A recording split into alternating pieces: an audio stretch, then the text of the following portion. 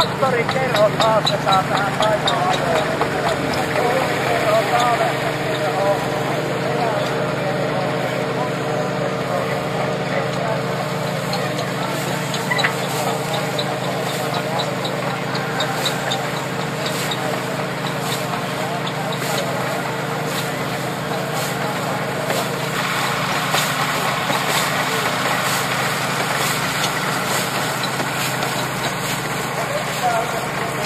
kuullaan Suomen koneviistottavimman opetuksen koneviesti terveinen.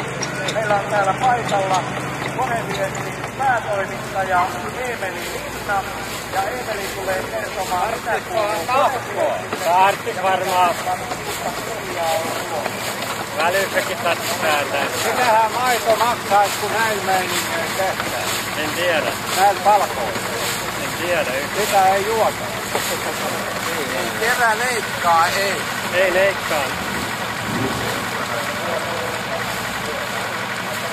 Mutta te, tekotapa näkyy kumminkin. Niin joo, se on periaate. Onko se vastaterää ollenkaan? Tai se vastaterää on?